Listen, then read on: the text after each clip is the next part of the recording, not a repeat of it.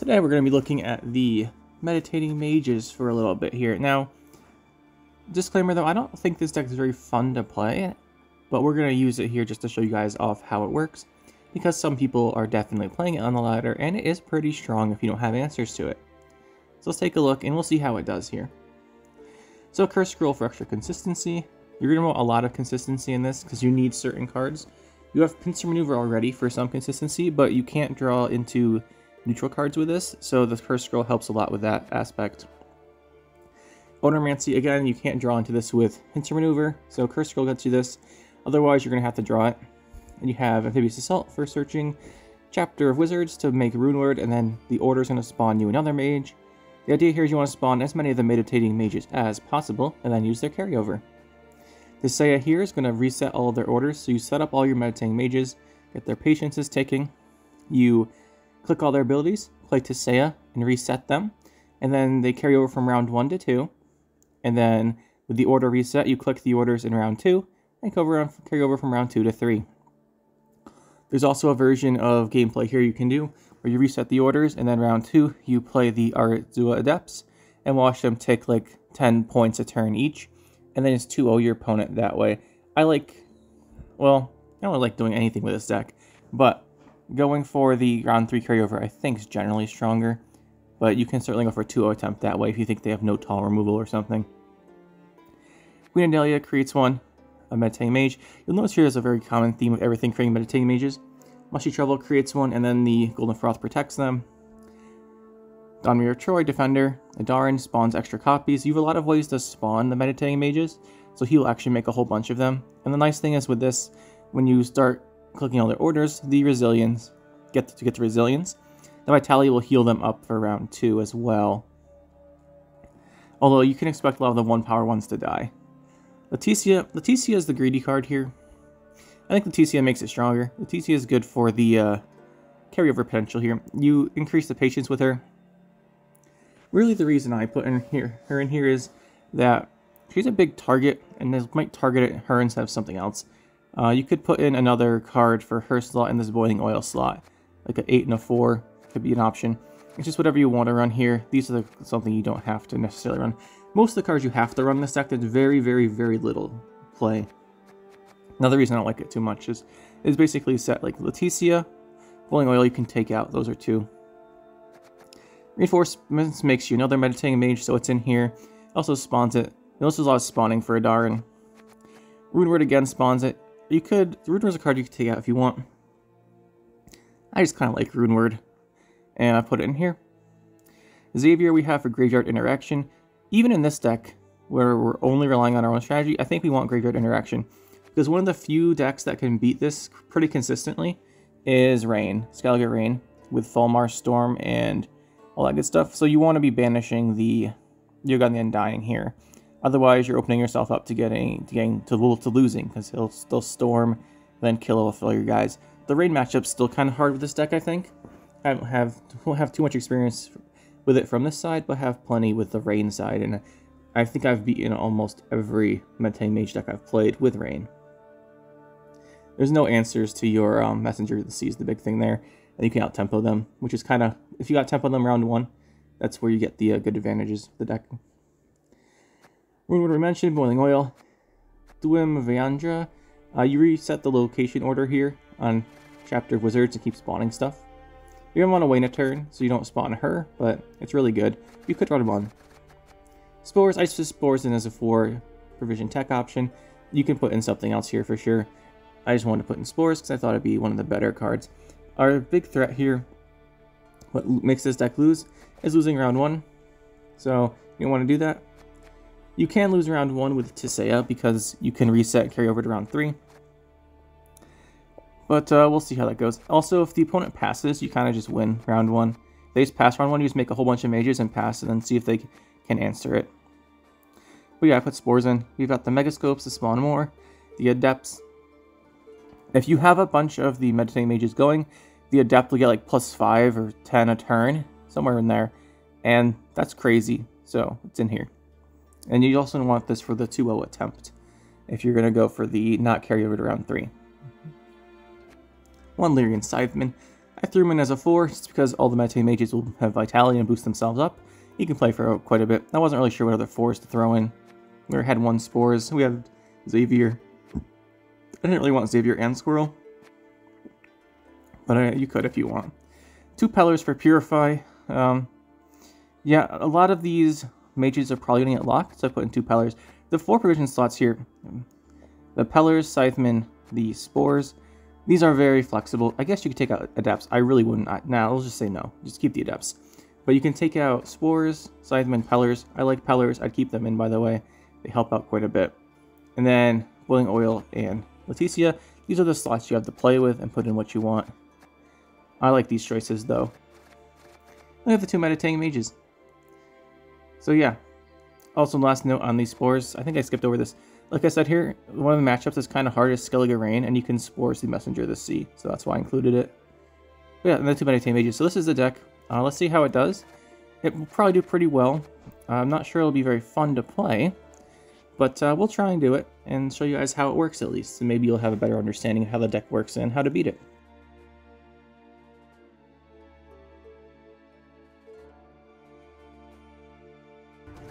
Alright, started off with the first game here. Oh, it's Trynet. Um, like soldiers. Okay. So it should be pretty good. I'm sure he has an idea. I'm sure he knows how to play against this. So this might actually be a little bit more difficult. Be interesting matchup, that's for sure. Uh, our hand, though, is really good. We have Chapter of Wizards, we have Queen Adalia, we have Amphibious Assault, we have Mushy Truffle, we have Donimir of Troy. The only card we're missing is Idarin, and we don't have Oneiromancy to get him.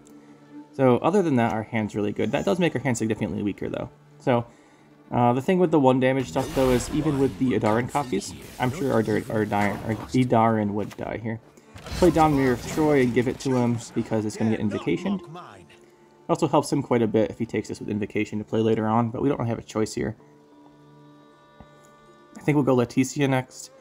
Uh, he Invocations this, Leticia might be safe. Yeah, we knew that was happening. I don't really watch Trynet's stream, or look at his decks, otherwise we might know if he's playing double tall remover or not. He might be playing Heatwave too. Some of the decks with lower power levels play double big removal cards. Invocation and Heatwave might be an option here. I just say that because Knickers came out here, which makes me think he's going to have... He wants Knickers as a neutral card, so he's probably going to be taking advantage of some other neutral cards. There might be a Heat Wave, Let's see. He has to be going for round one tempo here. Soldiers. This could either be regular soldiers with the armor, like uh, a Yennefer, like the one we showed off a week or so ago, or it could be the Slave Infantry version. I'm not sure which one it is yet. Well, yeah, we have our Chapter of Wizards. With our leader Billy here, the thing you normally want to draw is Leticia. And we're playing Chapter Wizards. Our Chapter Wizards is very vulnerable to a Heat Wave here. And since we have Super Vandra on our hand, we really don't want him to do that. We could go for double meditating mages here. We go for Leticia. We have our Queen Adalia to put one behind Shield, but he probably has Tourney Joust.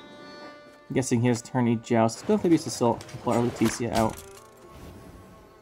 Power, I'm kind of nervous he actually does have a Heat Wave, and if he does, he has to answer like yeah, he has to answer Leticia instead, which is good because I want my Twin Vandra order go or reset going off on this location. Let's go Queen Adalia. And then we'll go for our Mage. We're not going to be able to get out very many med Meditating Mages, and we have to watch out, because he could, if he's playing stuff like Knickers, he definitely knows he wants round 1 tempo. And I don't want him getting round 1 tempo, because that makes our deck significantly worse. I'm sure he knows that, though. Okay, we want to draw Tissaia. Uh, Xavier's not going to be important in this matchup, so we'll put him on the bottom of our deck. Or shuffle him back in, rather. Let's see, what's he gonna do here? I'm not sure if he's playing which version of Soldiers is. I think with this, with the Blightmakers and the Knickers, I'm guessing it's not going to be the version with Yennefer. We'll play our Twin Vandra here, we'll reset our Chapter of Wizards, and then we'll hold off on it until we play our Meditating Mage next turn. For the Meditating Mage, um, probably the one off of Mushy Truffle and then we'll trigger this again, that'll get us 4, and then we'll play the one off our hand that gets us 5. Rune Word I don't want to play. I want to make sure I set up the mages first, and Rune Word helps If he starts to get a lot of tempo plays, that's when we go for our, our Etsuo Adept. if we need more points, is when we start playing her. Because uh, she'll be worth quite a bit. We almost have enough points on our Vanguard student also to kill his crossbowman. Kind of waiting on that. If he kills it early, I wouldn't be surprised. Okay, we're getting one locked. We don't have a Pellar. So we're getting our... He's controlling our mages very well here. Should be a good test to see if it's still good. It's still... Dex can still win. Chapter of Wizards. And we are almost there. Almost there. One more turn. Now, he doesn't have too many big point plays yet. There's always Leader and Afan. Uh, slave. Oh, his Slave Infantry version. Okay. Um, if he has Germain, this round could be scary. So I think we do actually want our... Hmm. He hasn't played Germain yet, but when he plays Germain, we'll have to play our Aretuza Adept to match the points potential. Metang Mage here. So we are only going to have four carryovers. That's obviously still a lot but you can get way more. We didn't have access to Adarin this game. No Oneiromancy, no Adarin. Like I said, Runemer doesn't guarantee us one of these.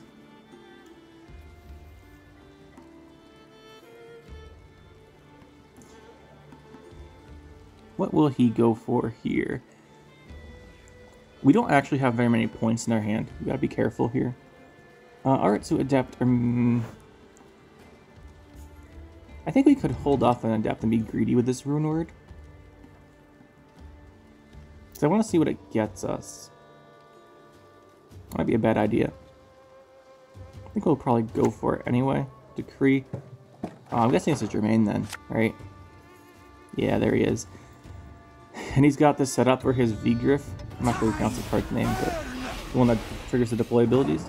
That's four. He deploys each of these is four as a 12 point play. Uh, puts him to 15, 40, 59. We have to go, I think... What do I want? I want this other meditating mage, probably. I think I want another meditating mage over our rune word here. I want the, I want the guarantee. I'll throw this down. It was a 59. We can still beat him here. Uh, I want to be greedy and wait a turn. We could click these. I want more. Without Leticia to boost them up, I want these these patients as high as possible before I click on them. Let's see what he goes for. Yeah, we knew that was coming. So he's at 59. Uh, let's see. 59. Each of these gets about 2 plus 6. We, we can win this round here still. Our only issue is if he plays this last card, I think he wins, and that's really bad. So we'll go for our Tissaia reset. A band of traitors who sold their souls to kings. We'll reset that. Uh, let's see, we're good here. We, st we still win the round with Aretuza Adept unless he plays his last card. The reason that we did this, if he plays his last card, we have to keep this because we won't win the round. And then we needed to have done our Tissaia reset already. Okay, so we're fine here. We get one, two, three, four, five. Yeah, we're good. Because this is going to tick. We only get one turn of ticking because he passed, so we don't go back to him and back to us like we normally would. That should still be enough. I think if he played this last card, maybe he drew as a fawn. Might have drawn as a fawn. I'm not sure. Let's see if he shuffles this back. Okay, that's Donimir of Troy. Uh, this looks like a fine hand. I didn't see what he did here. So out of our deck, we could play a Darin. Some Evandros wouldn't, wouldn't be bad. We can't play both because they're both neutral. So, uh, let's see. Kind of want a Darin. Why do I want a Darin? Because we can make a copy, right? It's hard to the Adept's not going to be great here. Uh, Megascope we could do also. So we can go Darin, Megascope. Oh, wait, no, Megascope's neutral too. We'll just throw out a Darin. Uh, we probably should have picked Wyrmvandra. Megascope was blue though, and blue's a color that is associated with Northern Realms. You know, gotta gotta get yourself confused by stuff like that sometimes. But yeah. So we're gonna play Darin. I think we can just pass here and be okay. There's Ramon. I think we could pass, and be fine. I think I kind of want to play these here. Do Illusionist. This is going to give him a Meditating Mage almost certainly. Well, it could be a Banned Artist student, right? Because the Banned Artist student's patience is pretty high. Oh, he's willing for a big carryover to counter us, I think. Scytheman will play for like 12 points or something here. Pretty good. Obviously, he only gave us 7. Alright, and we pass passer. So this is exactly how the deck works. I'm sure he knew how to play against it, and it still was able to win. Game 2 then. It's a good start to show off the deck there in game 1. Okay, this looks like this could be the Arnaghad deck. That's pretty common with this leader ability. It could also be a rain deck. The issue here is that probably both of those decks have options for a very strong round one with a fair amount of well actually Arnaghad doesn't have as much control, but they have a fair amount of power round one. is really just to purify our own stuff, even if he has defender. This hand's pretty good though. Um yeah. We'll keep Xavier in case it's a rain deck. We need to banish something. If he doesn't, we'll just put Xavier back in with our pincer maneuver or something like that. Chrome Mother. We could keep him to banish her, but... Uh, not sure. Okay, we want our Donimir of Troy. We could get it with Amphibious Assault. We could also draw it. I want to play it with Amphibious Assault here. There's the argument that you draw it but we can't draw it yet because we haven't played a card out of our hand. Otherwise, you draw it first. So the Amphibious Assault boosts something. Because you're getting two cards out of your deck either way. If the Amphibious Assault pulls something out that's lower, it boosts it up, and that's a better value. I wanted to open with it, so that wasn't a choice. Okay, Leticia, if there's no answer here, we I think we just win. But we have to see how many points. If he can generate a lot of points, we won't win. Uh, I want Chapter of Wizards still, and Adarin. Let's go with Chapter of Wizards. Let's see if we can win without Adarin. Let's just see what this looks like without Adarin. We could have picked it there. But let's see what happens if we just don't use him. Because we could draw Chapter of Wizards with our leader and also play Adarin. But I'm curious how well this deck does if we just don't do that. We didn't have him last game. But this time I want to deliberately not draw him and see what happens. I'm kind of curious to see, well, I'm really just curious to see how much value we can actually get here. Chapter of Wizards gets, Chapter of Wizards gets Meditating Mage. Let's take our Queen Adalia, probably. Adept wouldn't be bad either. There's our Meditating Mage. We'll go Queen Adalia. Will let us create another one. We're not going to need any of our Purifies here. He doesn't have any interaction. The only thing we have to watch out for Gremist. If he has a Gremist, we actually could be in trouble. But he's going to have to play at range, and then he'll purify Purifier Defender. Then every turn we'll probably lose the resilience on our Meditating Mages, so we have to we don't lose the resiliences because we'll hold off on clicking the order until as late as possible. They can only purify one or two. But yeah, I want to see what happens without Adarin again. Because a lot of times you see this deck going crazy, it's because Adarin spawned a bunch of copies and Adarin wasn't killed. But I want to see if it's we can actually have Adarin without Adarin just do the same thing again. Okay, he can't play Gremist anymore. His range row's full. That's kind of nice. Uh, Leticia is still going. We can go Meditating Mage here, or we can go Truffle. Let's go Mushy Truffle. It's got carryover in the Resilience thing. Put this back here too. Uh, Twin has to go range towards ability to reset chapter. I think we'll just don't worry about her. We can reset her for round two. There's Gremist, but like I said, it has to go melee now. There's no Purifies coming out of that. I'm not sure that was the best move. Okay, Meditating Mages. We do want these ticking with the Vitality soon. So maybe next turn we'll do it. Well, let me do a Megascope skill, still. We could go for reinforcements. That wouldn't be bad either. Well, we don't have to show it off because he quit. Game 3 then. That last one is real quick. Uh, once he couldn't interact with us, he quit. So, this is actually a good matchup for our opponent here. The Rain deck, I think, is one of the strongest decks against this. That's why we're running Xavier and Spores. The reason why is you want a deck that can win round one, and you also want a deck that can create a lot of points. This can the rain deck can certainly win round one. You have stuff like Melusine, Messenger the Seagulling, and you can actually outpoint their round two if they pass with a bunch of resilience cards. And you can also go for Fulmar and storm everything down and actually just kill the entire row of units. So that's actually an option here. We're going to play Donimir of Troy. Again, he might have Gremist, he might have Heat Wave.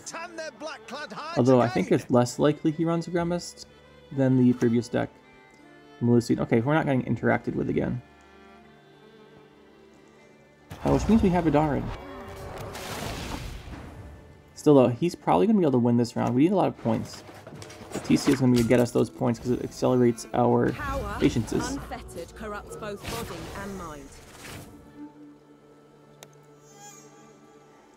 We need the patience's vitality going earlier for the points is what I'm getting at here. And we also need Adarin this time. This time we'll definitely be using Adarin. A, just that last game I was curious.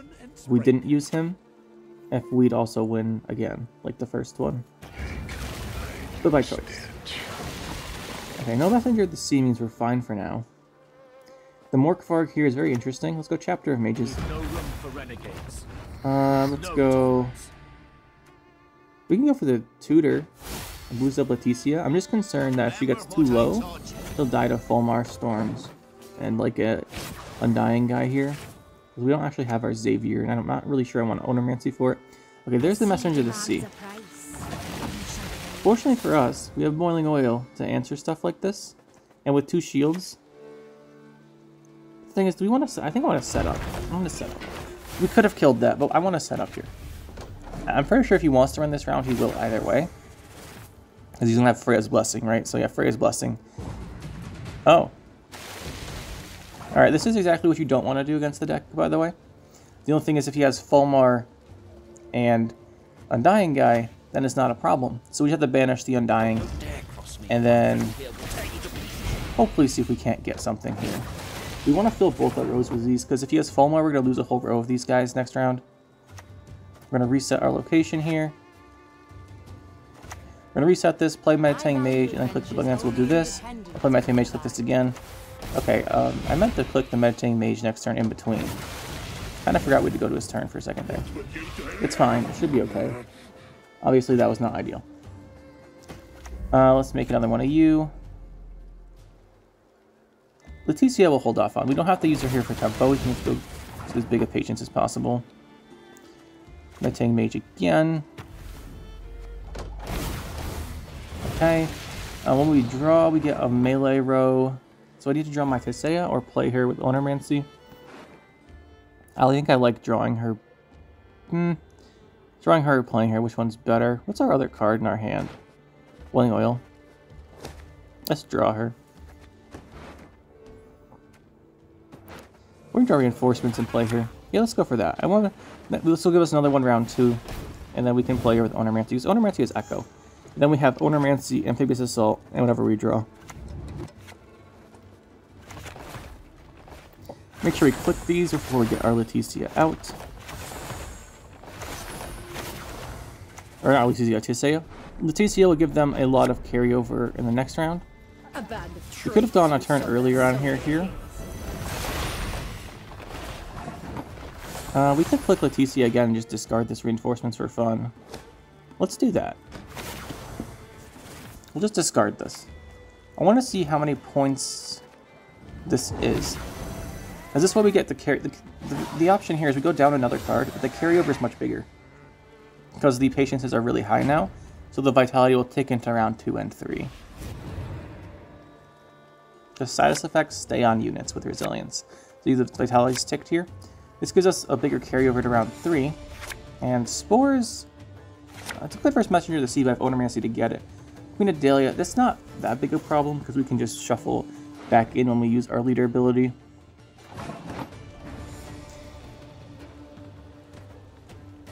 Um, we could have had two more if we didn't do of Mages wrong last round, but sometimes when I'm talking to you guys, I, uh, I, I talk slower than I do stuff, and then we end up with that.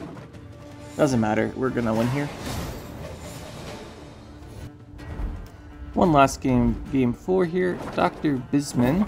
Oh, this should be a good test. This is um, Reckless Flurry, probably Witchers. Or the Raging Bear deck. Reckless Flurry, uh, could be Honor God. But this should be a good deck, because this deck is very strong round one and has good control. So it should be a good test. I say it should be a good test, and then our hand is kind of awesome here. This hand's really strong. Like, I don't even... I mean, Pellar we can put back, but maybe Megascope too. But that's a... Our hand's really good. We're missing Donmir of Troy and Amphibious Assault, but that's kind of it. We have a whole bunch of ways to get stuff. You can pull a Darin. Mushy Truffles, you, you great draw too. Not a Meditating Mage. Won't say no to that. Now the test here is will he remove all of our stuff or not? He can definitely remove a lot of our stuff. But if he doesn't have an answer to our defender, we might be okay. Go chapter wizards. I don't think they run heat wave. I mean, they don't usually run heat wave. The reason why is because they have plenty of removal. They usually play Geralt, Geralt Pen and then maybe a couple Geralts and they have Junod for removal. So usually don't have Heat Waves. This location should be, should be safe. If it's not safe, we would lose out on a lot of value though. Next turn we draw our John of Troy, put him down, and then we go for our Idarin. Should be pretty straightforward, although I'm sure we lose a couple of these guys here. If he's playing the Madoc Bomb version, we might actually lose all of our Meditating Mages, as crazy as that sounds. Okay, no bomb here, which means it's probably not Madoc. Moon. Okay, I just said that we get bombed five seconds later. I said that because I figured he'd have a moon dust in that case. But Madoc. He put it comes out in that row. We want to play melee then, so we don't want to click our order. Let's get Donimir of Troy. We're gonna need him. And I don't know about maybe reinforcements, maybe Dwevandra. Reinforcements Reinforcements is the riskiest card, because we might not have something to copy. So we'll go with that, even though it's normally good. We'll make her and put Donimir of Troy here. Again, I don't... He's not going to have Moon Dust if he didn't have it last turn, which means this Meditating Mage is pretty safe.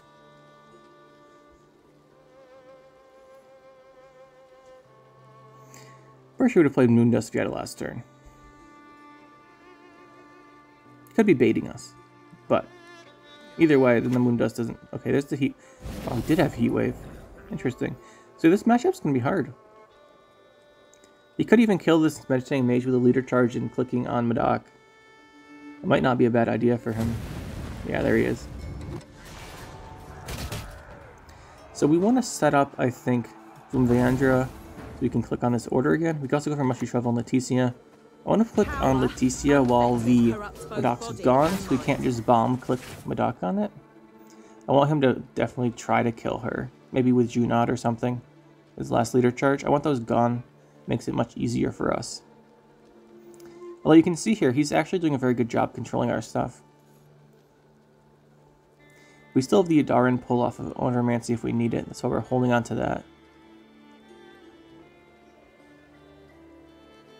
Should be pretty interesting. Now, Dwevandra sets up our location that we can click after playing a Meditating Mage. Queen Adalia also. Raging Bear. Okay, so he doesn't have his Megascopes. That's good for us. Let's just set up this order again. We're going to play a Meditating Mage before we click it this time. Last time we uh, were talking too much and clicked it before we played a Meditating Mage and got an extra Dwevandra. Still worth 4 points, but not obviously, well obviously not what we really wanted. So we're in the slower game here. What do you guys think about this deck? Is it too strong? Is it too annoying? I'm sure it's really annoying to play against, and I know it's annoying to play against. And it honestly doesn't seem that fun to play either in these few games here. But what do you guys think? Is there something wrong with it? The card Meditating Mage too strong? Does the Adarin making copies the problem? What do you guys think? Have a nice little discussion about it. I'm not sure too much. It's, I haven't played it a lot, that's the thing. Uh, maybe I will play it some more and get an idea. It's not super fun, but it's pretty easy to play. Actually, really easy to play. Here's a bomb. Brings back my duck. Uh, let's see. What do we want? What do we want here? Let's make two more meditating mages, I think. We put more stuff on the range row. Let's not click our order yet. I want to hold off on the order because if he has control, I want to end with two Meditating Mages. Okay, he's our bomb to kill off this one. He does. Uh, will Leticia live? I'm guessing no. He does not. That's fine. Like I was saying here, I actually think I might play some more games with this deck. Not because I like it, because I want to see how good it is. Do some experimenting. Alright, now here we can click the chapter orders. So we saved it. Get two more. And now they're opposite Madoc, so... Not opposite Madoc, so he's not going to burn them. I expect a leader charge here and probably a Junod on the Adarin.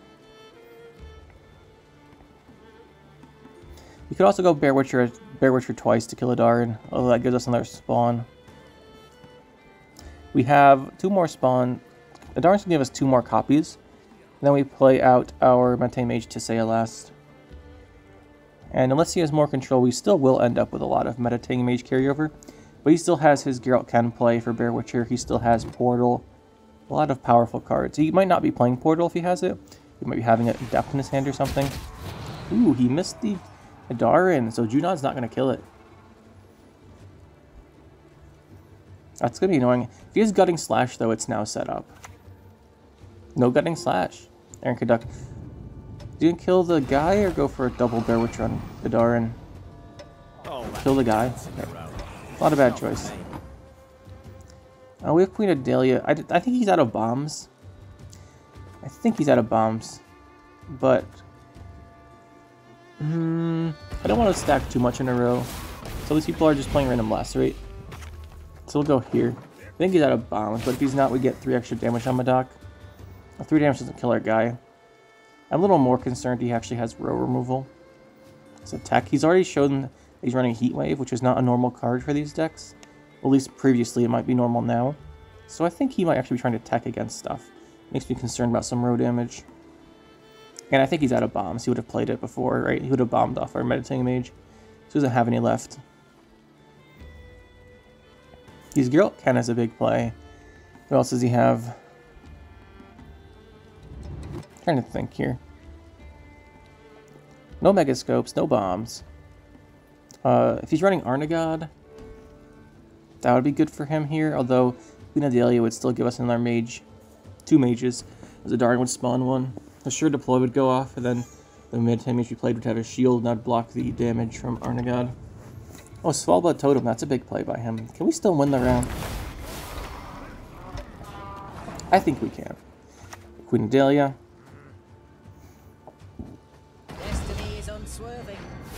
Meditating Mage, two of them. And then we'll just boost the back ones up, just in case he has some uh, row, damage, It's like one damage, row damage, or two damage. Gird in particular, but we're past Gird's adrenaline, so that's not a threat, just like if he has something like that. I don't want to have two one-strength guys sitting around. Combating Mage into Tissaia.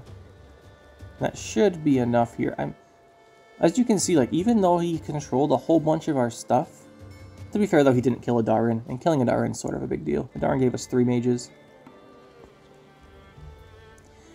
Uh, Adarin, we have three less.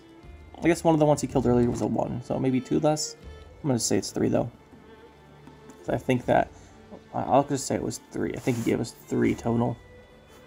Oh, he did give us three total, but the one that he killed, he wouldn't have been able to kill a different one with.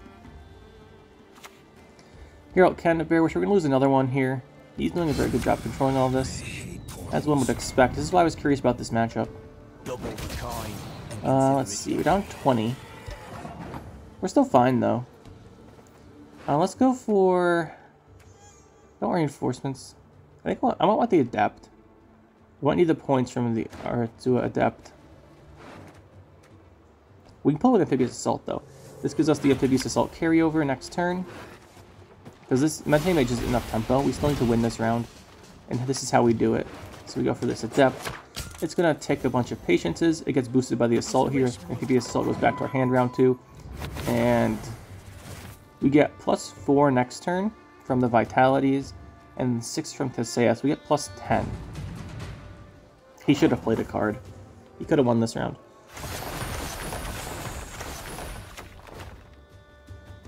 Although maybe if he wins the round, it doesn't matter. That's possible too. So we'll reset that. Carry over.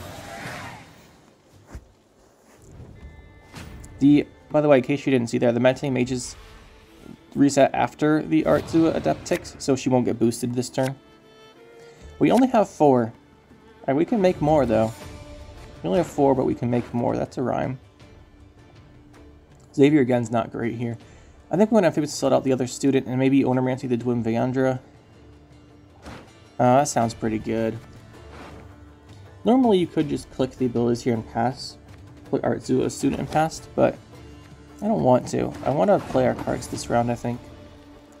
There's no reason to go for that other strategy. Now let's just click again, boost these vitalities higher. Pull out of our deck with Oneiromancy, Veandra, and we reset the location order and reinforcements next turn, or when we pull out our Adept. Now our Adept's not gonna have the patience anymore.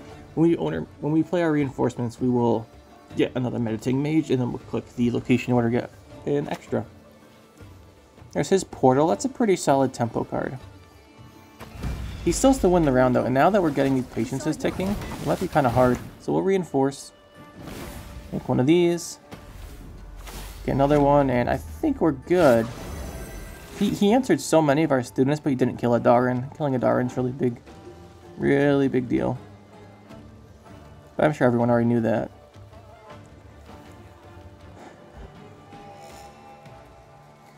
Quite a bit of patience is ticking. I just pull the Aretuza Adept anyway, because a 4 place your 9 then, like these other ones. Xavier would have been really nice for round 1. He would have banished our Oneiromancy and our Amphibious Assault. But again, we don't actually need those this round. It just gives us extra value. We'll click these. And then, I don't know, Lyrian Scytheman maybe?